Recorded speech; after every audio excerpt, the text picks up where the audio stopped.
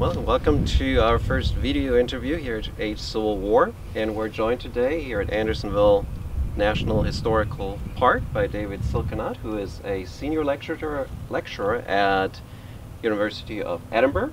He has published, among other things, Moments of Despair, Suicide, Divorce, and Debt in the Civil War Era North Carolina, Driven from Home, North Carolina Civil War refugee crisis, and now the newest book, Raising the White Flag, How Surrender Defines the Civil War. Some, my colleague calls that my Civil War misery trilogy. Uh, I don't know whether that's accurately describes the contents, but it sounds good. Sounds good, right? So tell us a little about the Surrender book. What's your argument? Uh, so the basic premise of the book, in fact, is a, is a very simple one. Uh, that the Civil War was defined by the frequency in which both Union and Confederate soldiers and armies surrendered. The war began with surrender, famously at, at Fort Sumter. It ends with a series of surrenders uh, at Appomattox Courthouse, at Bennett Place, a number of other sites. And in between, you know, there, there are many of the defining moments of the war are defined by surrender. So I'm thinking here about you know, Fort Fort Donelson, thinking about Harper's Ferry, thinking about Vicksburg. And so the book really began me trying to come to grips with what does it mean that they're surrendering so often? Why do Civil War officers choose to surrender so often? Why do soldiers on the battlefield so often choose to throw down their guns, raise their hands, and and ask to be, be accepted as a prisoner of war? And so that was the basic research question, was trying to make sense of why that happened. And where you say is that soldiers threw down their arms, yeah. what did what did surrender mean to them? Why did they do it? Uh, so different soldiers surrendered for different reasons. Um, one of the reasons why soldiers surrendered, especially in uh, sort of the middle part of the war, is they actually expected that their conditions as a prisoner of war would be relatively benign. It's kind of ironic that we're doing this here at Andersonville, because Andersonville is, of course, a Confederate prison that's opened in 1864 and is usually the prison people think of when they think of Civil War prisons, with, with you know, mass starvation and, and disease and death and, and just uh, really a horrible situation here in Andersonville.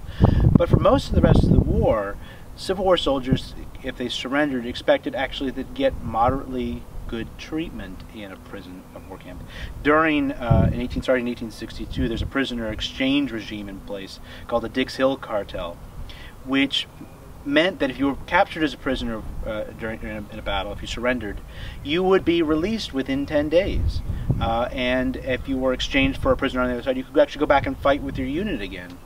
Um, and so this made well, one of the things this made was it made if your choice is between, you know, fighting to the death or surrendering, if you are finding yourself outnumbered or if you're finding yourself surrounded, surrender looks like a very good option. Sure. Uh, and there are limits to this, of course. I mean, there, the, if you are an African American soldier, if you are a Southern Unionist, if you're a guerrilla fighter, the, these same rules don't apply because these they were not often considered legitimate soldiers by, by the enemy, and so they weren't afforded the same privilege to surrender. But for everybody else, for most of the war, surrendering seemed like a really good good option. And you mentioned the cartel of prisoner of war exchange. How does the end of that cartel by early 64 changed the dynamics of surrender? Well, what I argue in the book is that uh, you know the cartel breaks down basically because the Confederacy doesn't recognize black soldiers as being legitimate soldiers and refuses to grant them prisoner of war status if they're captured. Uh, and in fact, they're oftentimes actually killed on the battlefield if they, are captured. We think about Fort Pillow or, or the Crater, or a number of other examples of this happening. Um, but when the prisoner of war exchange breaks down, soldiers increasingly recognize that if they are captured, they're going to end up in a place like Andersonville. And then it becomes a much more desperate choice. If you think you're going to be paroled and exchanged very quickly, surrender seems like a good choice. If if you get captured and are going to end up in Andersonville, you might as well fight to the death, right? And so one of the things I find in 1864 in particular is soldiers are far less willing to surrender, and officers are far less willing to surrender because they know what awaits for them afterwards. Uh, and you know, lots of historians talk about a hard war in 1864, and I think the breakdown of the cartel has something to do with that, because increasingly soldiers recognize that they surrender is really off the table, and they need to fight in a very different way. And the war obviously ends with the surrender at, say, Appomattox or Bennett Place, and well, it ends with a series of surrenders, really. Um, you know, and that's one way to think. You know, people often think about Appomattox as the end of the war, and oftentimes it's used as a shorthand for the end of the war. But in fact, one of the things that happens is, you know, each Confederate command has to surrender individually. So there are really a series of surrenders that happen after Appomattox. Sure. And um, how do how willingly are soldiers surrendering? Are do you see like especially at the end of the war that some of them are not willing to give up the fight and then embrace like a neo-Confederate yeah. kind of so. Well, well, the vast majority of soldiers and Confederate soldiers are actually, I think, relieved by surrender, especially after Appomattox, when they realize they're not going to a prisoner of war camp, they're going to be paroled, they're going to be given rations, sometimes they're given transportation, depending on the circumstances of the individual surrender. Uh, so most Confederates, I think, embrace surrender at the end of the war, saying that this is the way to get back home. They're not going to get shot at. They don't have to march anymore. They're, they're happy to do it. There are, though, a handful of Confederates in each Confederate surrender to the war who, who completely reject the idea of surrender. They want to continue to fight on. So there are people who leave Lee's army at Appomattox Courthouse and they want to join Johnston's army. And then there are people from Johnston's army who want to join Kirby Smith's army or Taylor's army or, or, or Forrest's uh. Uh, and so there is, in, in each surrender, a small contingent of people who are absolutely rejecting the idea that this is the end of the war and want to keep fighting. In fact, when Kirby Smith surrenders, there's a contingent of people who decide to go into Mexico because they say, Look, we're not going to live in the United States, we are going to continue to fight.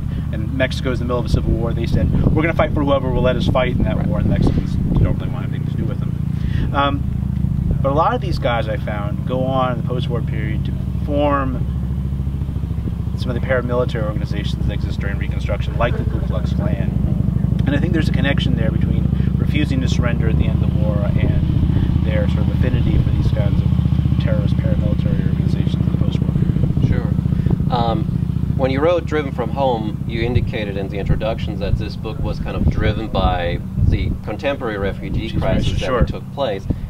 Do you have something similar that um, gave you a rise to write this book? Well, there's there's a there's a couple uh, of things that were going on while uh, while I was writing this book that really made me think about its resonances uh, in a more contemporary context. Um, one is the Bowe Bergdahl case, um, you know, a situation of a, of a, soldier in Afghanistan who goes AWOL and gets captured, and the ways in which he was treated and the ways in which people thought about that particular situation. I mean, the other big you know moment that, that I, I think about in the book is there's a, a, rhetoric in the United States that starts in the mid 20th century that Americans never surrender, and you find Kennedy saying that in the in the Cuban Missile Crisis, you find Nixon saying that, you find Reagan saying it, that you find Obama saying it. It's, it's really a common unifying political mantra that Americans never surrender. Um, and while I was writing the first draft of this, is when um, then candidate Trump called out John McCain and said, mm-hmm. you know, I don't like people who weren't captured, you know, and and and, and that to me sort of was a distillation in some ways of that idea that, you know, that there's something dishonorable about surrender. That surrender is a shameful activity. And what I think the Civil War teaches us, in part, is that there's ways in which you can think about surrender not as a shameful activity, but as a really humanizing and civilizing activity. To surrender, you have to reckon and to accept somebody else's surrender, whether it's generals sitting across the table from each other, soldiers in the battlefield. You have to say, the person across the table from me is as fully human as I am, and we're going to find a way not to shoot at each other, even if we were shooting at each other just a few minutes ago. Uh, and that, to me, I think is a very powerful idea. Um, so you're about to go on this long book tour. You're starting here in Andersonville, yes. and you start the tour at Andersonville, which is like the point where a lot of people that surrender end up. up yes. And eventually you're going to talk at Appomattox. Yeah. I'm not sure if you're talking at Bennett. Yes, I'm going to Bennett Place. I managed to hit the anniversary of both of those on. on so uh, on you're talking trip. at these places where surrender was the go-to. Yes. And how does that kind of how does that personalizes the story? You say.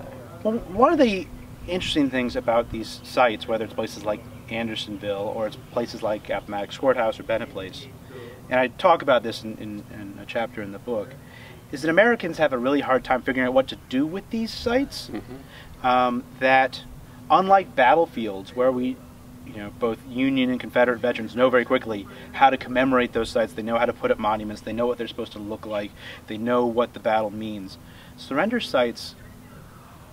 What I find is, is a great deal of difficulty of Americans talking about what it is that happened there. Mm. And if you go to places like Appomattox Courthouse, you'll find very, very few monuments. There's really only two monuments at Appomattox Courthouse, and one of them is kind of in the woods, and you got to hunt for it. At Bennett Place, there is a monument, but it's kind of a weird one and a very controversial one. And at lots of these other surrender sites, there's very little monumentation. I think Hmm. that says something about the ways in which Americans have sort of wrestled with surrender as an idea uh, that's been very difficult for them, and, that makes it very different from the way people commemorate battlefields. So I'm really looking forward to talking with people at, at these surrender sites on the anniversaries. Uh, and seeing what brings them there and what they what sense they make of what these places mean. Sure. Um, Well, good luck on the tour. Thank you very much, and And thank you I very hope you have a wonderful trip. oh, thank you very much, and thank you very much for talking to me today. Thank you.